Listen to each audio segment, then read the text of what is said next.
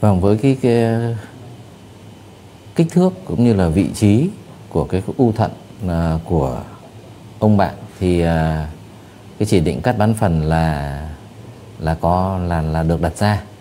À, kích thước thì là nhỏ và vị trí nằm bờ ngoài của thận. Tức là về mặt kỹ thuật cắt thận bán phần là là có thể thực hiện được ở trên ông bạn.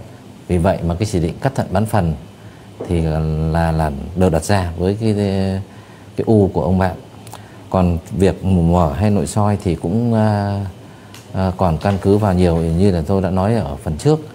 À, tuổi tác các bệnh phối hợp. Ví dụ như tuổi ông bạn là 73 tức là cũng người cũng là khá lớn tuổi. Thì cái chỉ định à, nội soi hay là mổ mở các bác sĩ cũng phải cân nhắc kỹ lưỡng về các cái, cái tình trạng của cơ quan. À, nhất là ông bạn có bệnh tiểu đường còn cái việc cắt thận bán phần thì mình cũng hiểu là như vậy, tức là còn giữ lại được một phần của quả thận. Nhất là với ông bạn là cái u chỉ có 2 cm thì gần như là nó rất ít ảnh hưởng đến cái phần nhu mô thận. Nên là cắt thận bán phần này là cái phương pháp mà ít ảnh hưởng đến chức năng thận nhất.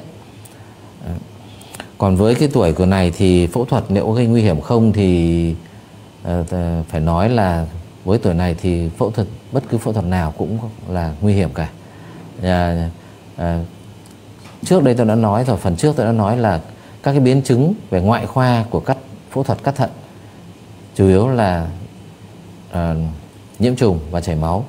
Thì với tuổi này người ta lại không như tôi đã nói là với cái điều kiện bây giờ kỹ thuật bây giờ thì cái biến chứng nó ít nên là người ta không sợ biến chứng đó. Nhưng mà với cái tuổi này thì người ta lại sợ các biến chứng về toàn thân à, như là tim mạch hô hấp rồi dinh dưỡng rồi tất cả các yếu tố các cái biến chứng sau mổ đấy mới là các yếu tố nguy hiểm. Vì vậy mà có không thể nói là là là phẫu thuật ở cái tuổi này là không nguy hiểm. Tuy nhiên là việc phẫu thuật à, chọn lựa phương phương pháp cũng như là à, chọn lựa ờ, phẫu thuật như thế nào thì chỉ định như thế nào thì là các bác sĩ cũng đã cân nhắc và sẽ đưa ra cái à, quyết định chính xác thôi.